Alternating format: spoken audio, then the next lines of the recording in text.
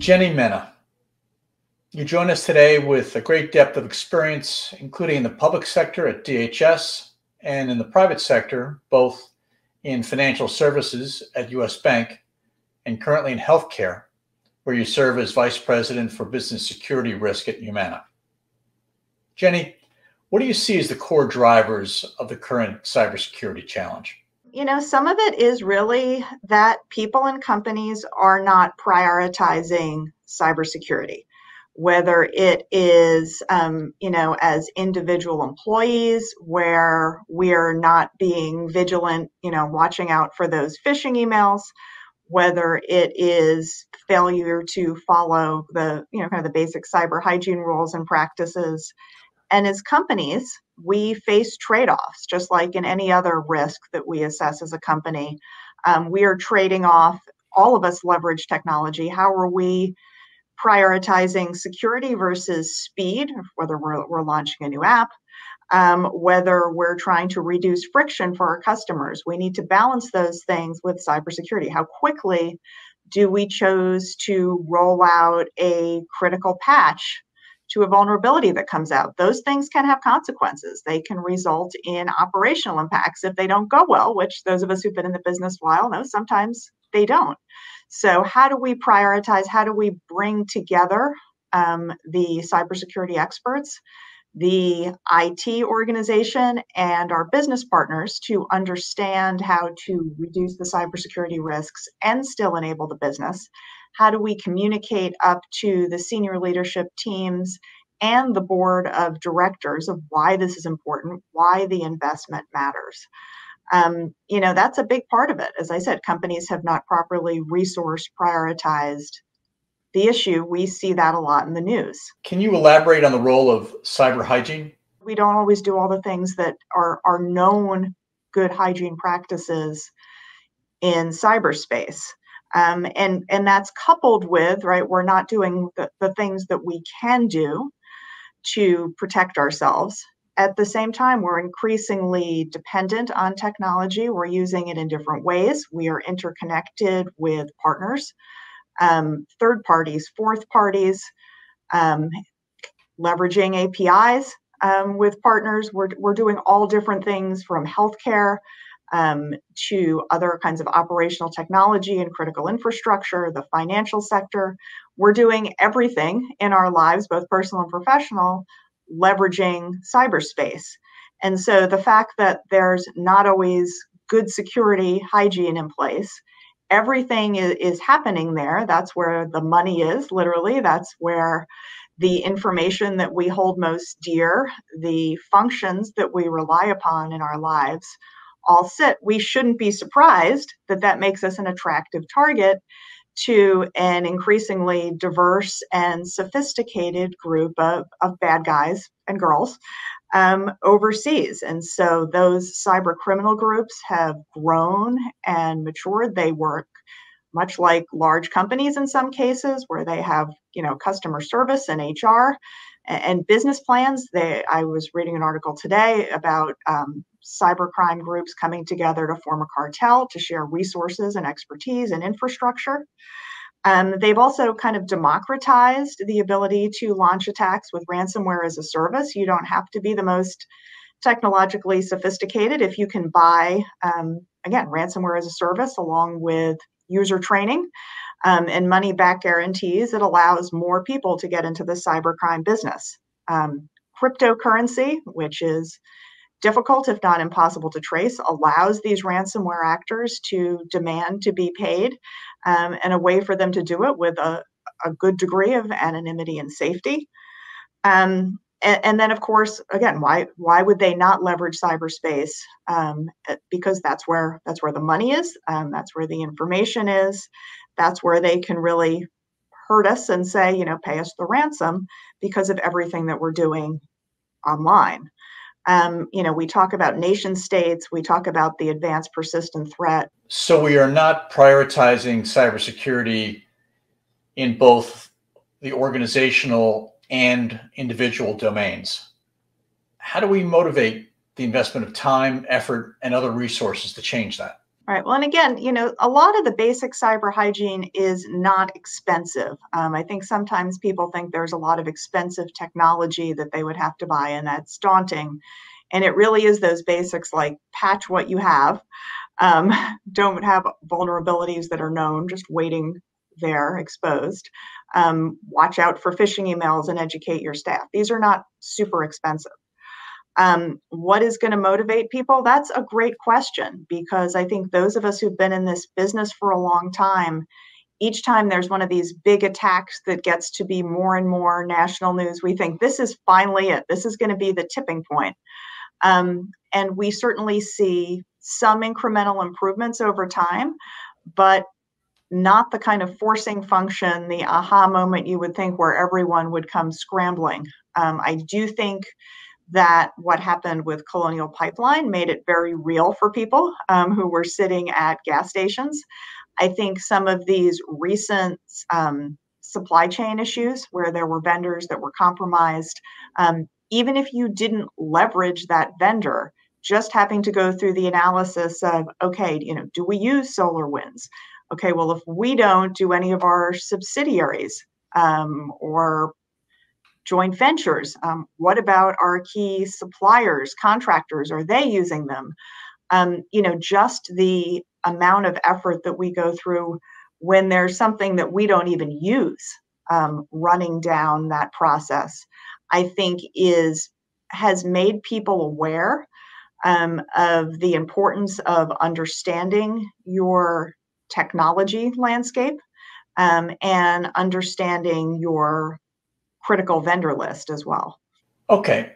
So, how does this get effectively communicated to the powers that be in the corporation so the appropriate policies, procedures are put in place and investments are made?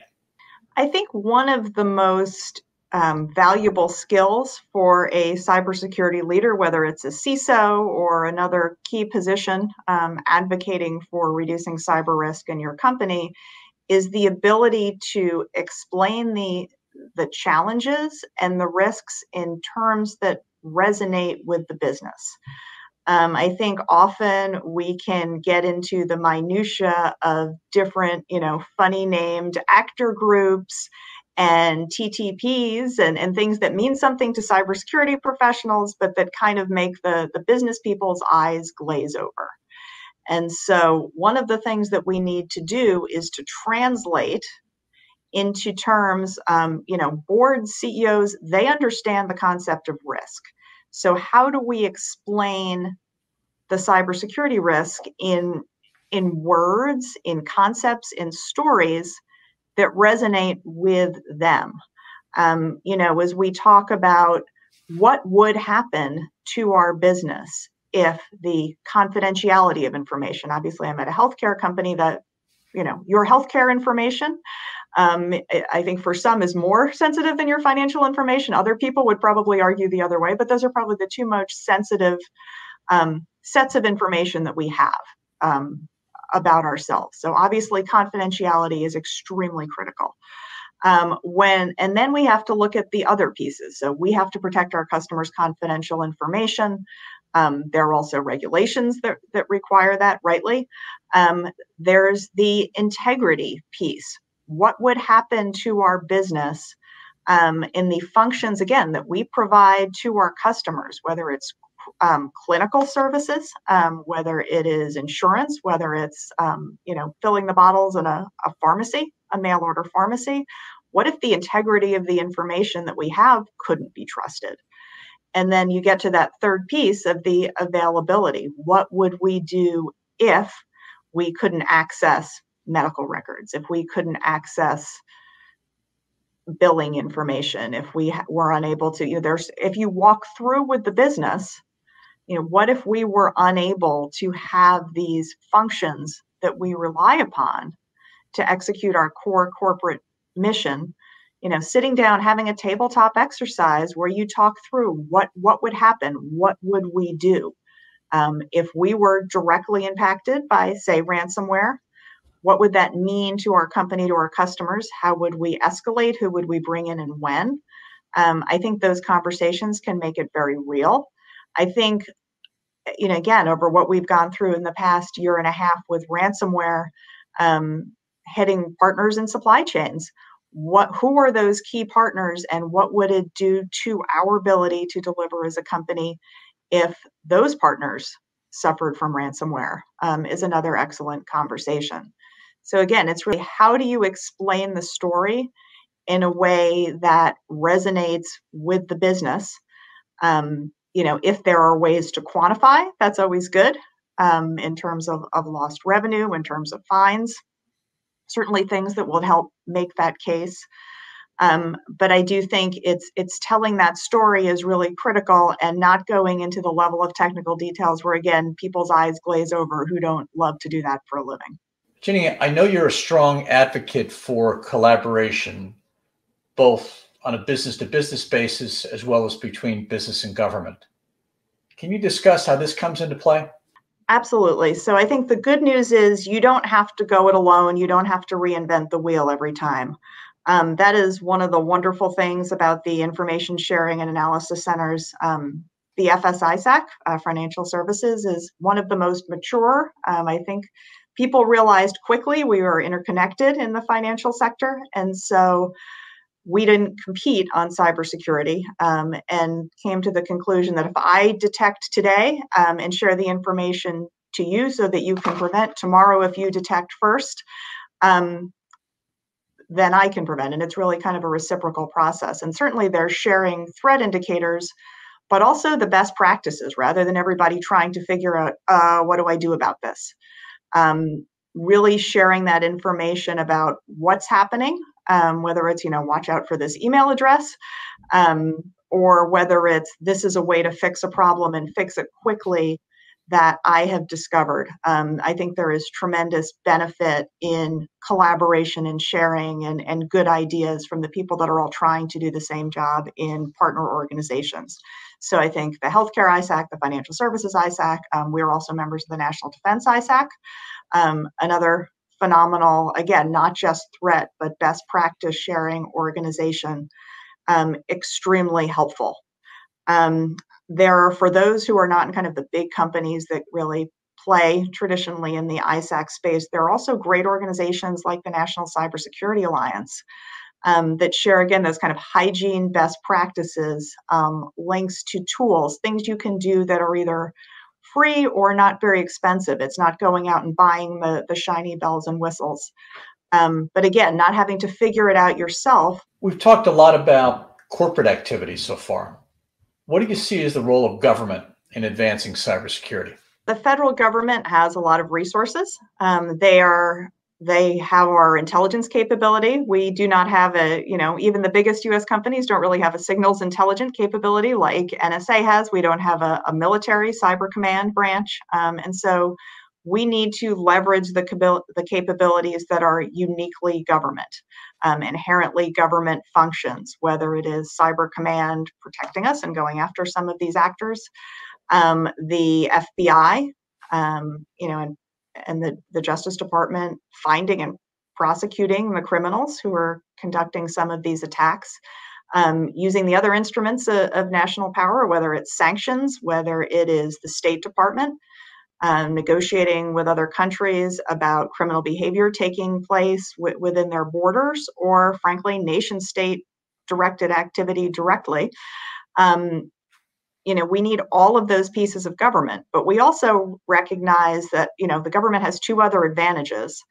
Um, one they are you know those of us who are a little bit older remember watching war games. They are the original hacking target. Um, and so they have lots of experience in you know seeing what the adversaries are doing and sharing um, this is what we're seeing and this is what you can do about it. So while we benefit from the intelligence that comes from the signal intelligence community about the, the threat actors, we can also learn a lot from just how the government is protecting itself um, because it has such a varied attack surface and enticing set of targets. Um, the government also has a lot of uh, purchasing power. And so, one thing that we haven't talked about yet is the IT solutions that we all rely on are they being built to be secure again was was that the priority um, is it building security in um, is it safety and security features or is it other features? Is it it's speed and bells and whistles? Um, and we need to have our federal government use some of its purchasing power to drive a an, an IT provider solution set for all of us that is more secure. You just mentioned using purchasing power to drive cybersecurity. Can you elaborate both for the public and private sectors? You know, there's been a lot of talk over the years of trying to come up with a good housekeeping seal um, for products, uh, you know, maybe in Internet of Things products, for example.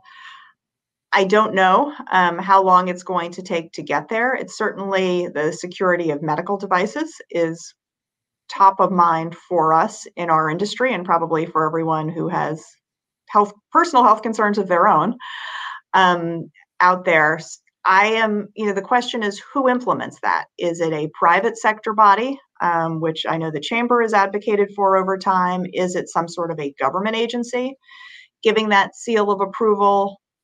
You know, with many of these solutions, there, there are pros and cons and, and complications. And so we've gone back and forth for many years, struggling to figure out how do you get there. Um, you know, certainly as the government makes changes to um, to the FAR, um, DoD to the DFAR, their contract requirements, again, because of just the size of how much they buy, can have an impact. Um, I know that, for example, the multi-state ISAC has provided recommended contract terms around cybersecurity for state and local government to use. We as companies also spend a lot of money um, and we should be focusing at on what are the terms of the contract, what do our information security agreements look like um, when we do business with a company, um, what kind of assessment are we doing of their security practices to make sure that they're in fact um, implementing good cyber hygiene and protecting our information. Uh, and then how do we regularly revisit the security of those key partners and vendors through a variety of different means, whether it's security monitoring services, whether it's you know kind of regular um, reassessments, whether it's you know finding a, a way to get out quickly and get responses quickly to make sure that all of the, the key vendors have addressed a, a critical vulnerability.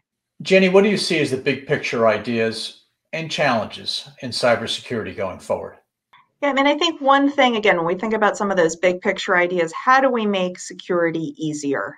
Um, how do we make it easier for companies that don't have the resources um, that, that some of the big companies that you're interviewing for this video have, that government agencies have? Um, and, and how do we make it easier for everybody to, again, when a, a vulnerability is discovered, to patch more quickly in a way that's that's safer? How do we build, again, security in at the beginning so you're not having to make those patches later um, that can cause operational impact and and use a lot of resources, honestly, that you know could be spent on other aspects of security and on other kinds of technology innovation. I think we need to continue really with this. How do we how do we as a community build awareness, um, build motivation, and keep it going because we can get everybody really excited um, about cybersecurity. Everybody's thinking about it, talking about it again after something like Colonial Pipeline. But in six months, will it still be top of mind when we're talking about investment and some of the trade off risk decisions? In closing, then, what would be your call outs to both business and government?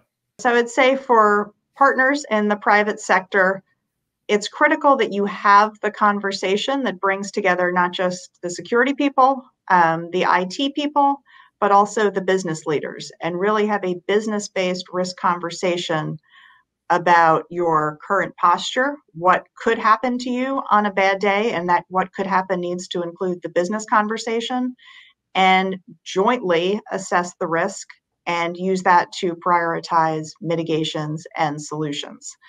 Um, also, again, you are not alone if you're not already active in something like an information sharing and analysis center or leveraging organizations like the National Cybersecurity Alliance. Jump in. You're not the only company that's doing this. Everybody doesn't need to learn this on their own. Um, we can share best practices, we can share lessons learned, we can share information um, and, and hopefully get ahead of this in a way that expends less resources. And to our government partners, um, I hope that this effort will, you know, there's been a lot of great work done over the years by the federal government. Sometimes it's in fits and starts, but there are some things that only the federal government can do, whether it's sharing the threat intelligence information that comes from the, the signals intelligence capability, whether it's law enforcement, um, and sharing the information that you have with the private sector partners. Um, you know, is, is really critical for all of us working together to succeed.